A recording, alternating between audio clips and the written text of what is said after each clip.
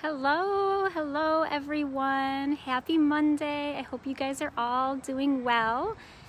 It's been quite a stormy weekend we had, so I hope you guys are all safe and secure and doing well and having a great beginning to your week. And as you see, I'm in a different location for today's video. So normally I do these lives on Monday at 8 o'clock, but as you see, I'm out and about. I love being out and about. It's my favorite thing to do. And there's blue sky, trees, green grass. It's great. So um, I'm not going to be doing an 8 o'clock live this evening um, just because, you know, my schedule has been, you know, happily a little different. Um, so I'm doing this now, and I just wanted to share a little bit about my thoughts, my reflections on the storm that recently kind of it caused a lot of problems. Um, people in Tennessee are missing, and New York itself got a lot of rain. I am not in Brooklyn, obviously, as you see, but um, you know, it, it was rainy down there yesterday from everything that I hear from the weather and people I've spoken with. So um, I've been thinking about storms, hurricanes, tropical storms, and two things I want to share with you today that you can do to avoid having a personal hurricane or a personal tropical storm in your life. And so I'm going to use the metaphor of, you know, like recent events to kind of illustrate this point. So I've been talking a lot about forgiveness lately, and then last week I started speaking about anger. Um, anger is definitely the root of a lot of things. You know, it can be the root of depression, it can be the root of jokes, it can be the root of a lot of different things that we don't even realize. So you can check back to last week's uh, video that I, you know, shared about some red flags of anger and check that out. And so when we are angry, it can become like a storm, like a hurricane, right? So if you think about a hurricane, right, there's like a center, there's the eye, which is calm, and then the the rest of the storm comes like out all over and it it's it creates like a mess everywhere and it's like all this swirling and there's lots of wind and, and rain um, and there's a wreckage that's left behind the storm, right? So, this is what happens when we can be angry. Now, it does not mean anger in the sense of like violent eruptions, although obviously it could, but it could be things like um, rejection, right? Um, someone can reject us. It doesn't matter if it's a parent that rejects us, a friend. Um, like a business partner, it could be a romantic person like a husband or wife, right? Um, somewhere, you know, rejection. That can create anger, which could then somehow manifest into depression and it could also manifest into fear um, fear of losing someone or losing someone's affection in the future, right? And that could then create some storms. And so that fear of loss um, insecurity, that anger, you know, and that rejection can cause insecurities and feelings of not being good enough, uh, the need to be perfect, perfectionism. Uh, that can, you know, be another arm of anger. Um, disappointment. You know, sometimes we set expectations, and, you know, expectations and standards are not the same thing.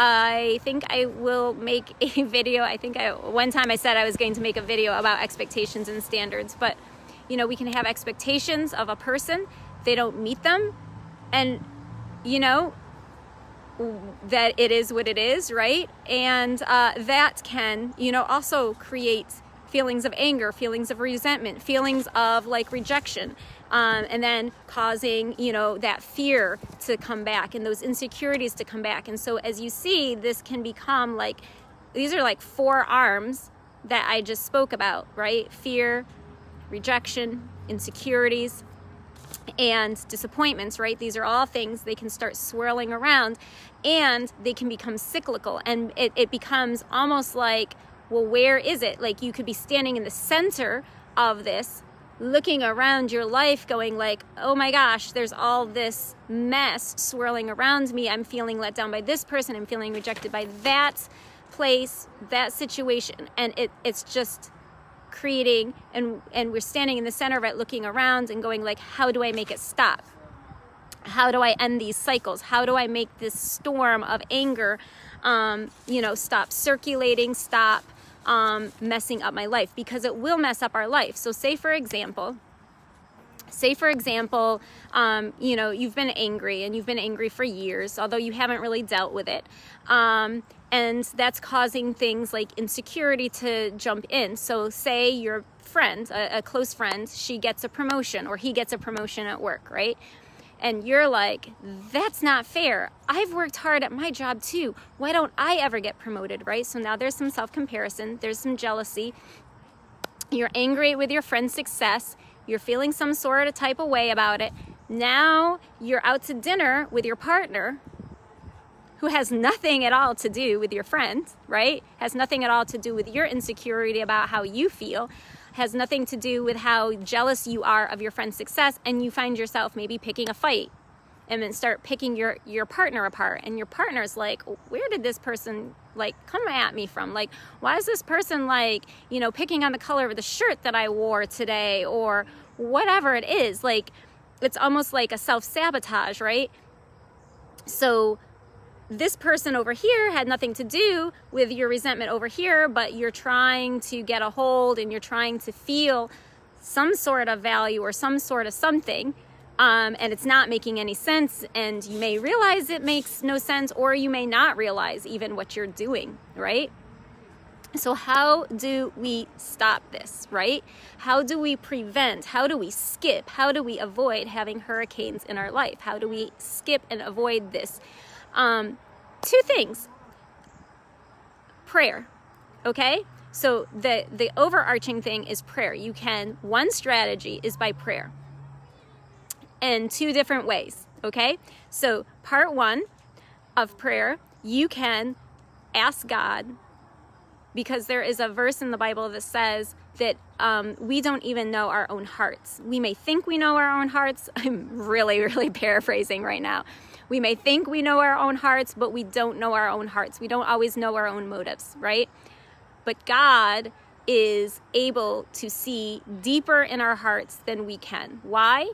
Because He's kind of outside of the space that we live in, He's outside of it all. And so, as someone who's outside of something, there's a bigger perspective, it's more objective, right? So we can say, God, um, there is a storm, things are going around in my life, I'm repeating cycles, you know, my relationships aren't really good. Um, I've had, you know, short lived relationships. Sometimes they just end suddenly. The relationships I do have, I don't feel as close to those people as I want to feel. I'm having trouble having intimacy with my daughter, my son, my my husband, my wife, my coworkers, my best friend, whatever it is, I'm, I'm, I'm being blocked and feeling close to these people, or I'm just like having all these endings, these explosive bad endings in most of my relationships are just like just ending. So search my heart, okay? The common factor in all of this is me. So this is actually taking responsibility to a, you know point. And a lot of times i'm not saying our anger is not justified. I'm not saying that when someone hurts us it's it's not okay to be angry. This it's it's okay to be angry. Um, please know that it's okay. And sometimes you know there is like reason like valid reason to be angry. But to stay in that place can create this like out of control storm in our life that can take over everywhere and just like leave wreckage behind. Um, so that's what we're trying to avoid. So search my heart. I don't know what all is going on in there. Um, and I'm not feeling confident. I'm not feeling worthy. I'm feeling rejected. I'm feeling afraid. Be honest, right? Search my heart and show me what's going on with me. Okay? So that is the first thing that you can ask God for in prayer is just to search your heart feel, finds out what's actually really going on in there. Where did this all begin? Why why am I feeling this way? Just like start asking. And it we are promised that if we ask, we will get an answer.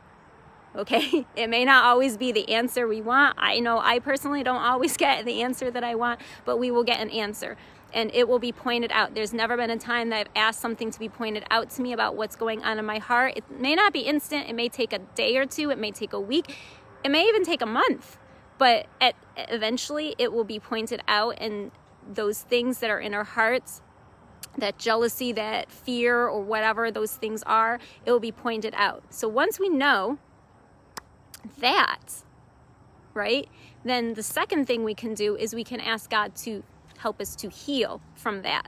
So the second step is okay, so now I know that I've got these things going on in my heart. Now I know that I've got this jealousy in my heart, and it's because when I was, um, you know, in school, I was always compared to my older sibling or my younger sibling, or, you know, why can't you be more like so and so, right? And so now I'm jealous, and now I've got like this fear and this rejection and all these things going on. So now I, I, I've kind of gotten this pinpoint thing of a lot of where things are rooted in, right?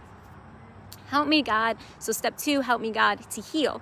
Now, um, I think a lot of times in Christianity, one of the problems is is that people think that you just go and you say a prayer and then everything's all better. No, it actually may mean the answer for healing may sometimes it thing it depends on what it is, right?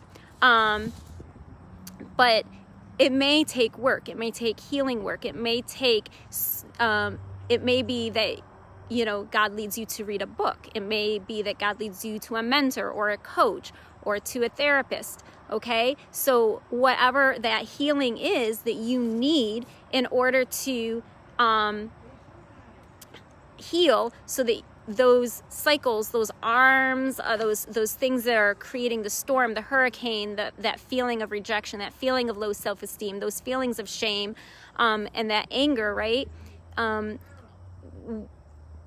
it's always not it's it, it can be complicated because it's being it's all swirling around. And so you know once you ask god to show you what steps you need to take he will show you and it will be step by step. You're not going to necessarily see the whole thing all at once okay? Um, it's what do I need to do to heal? It may be first you need to do this, then you need to do this, then you need to do this. I know for me, it was like first I was led to this one book, and I'm gonna I'm gonna actually share that soon um, about a book that was really pivotal to the beginning of my healing journey. But there'll be steps that he leads you through and shows you what you need to do, um, who you need to talk with, who you need to reach out with. Um, whatever that is for you because our healing journeys are unique. They are personal. Not everyone has the same um, needs for healing. Um, and so it is something that you know once you if you can ask in prayer um, you know and it's revealed then you know what to do step by step. And so what may be for me may not be for you. Something for you may be totally different. So that's why you want to ask. Um, so here are again two ways to skip um, and avoid having hurricanes. It's really proactive, and you can begin your day or you can end your day whenever. There is no right or wrong um, time to do it, um, but prayer first you know show me what's going on in my heart show me like where these feelings are coming from what's causing them show me really what's going on in my heart um, and step two, okay, now that I know what's going on in my heart, what do I need to do? What steps do I need to take to heal, to begin to heal, to begin to release the anger, um, and not just stuff it and shove it, but like actually process and work through the whole, you know, process, which can take years sometimes, okay? Healing can be, especially after a traumatic event, um, or like a very severe heartbreak, right? It can, it's, it's going to take time and patience. So, those are two ways that you can skip um, or uh, proactively avoid um, creating or continuing to live in hurricane cyclical seasons of anger. Um, I hope this helps. And if you have any questions, as always, you feel free to drop in the comments your questions or thoughts. You're also free, feel free to send me a DM. Um, and otherwise, I will chat with you guys all soon. Have a wonderful rest of your day. Peace.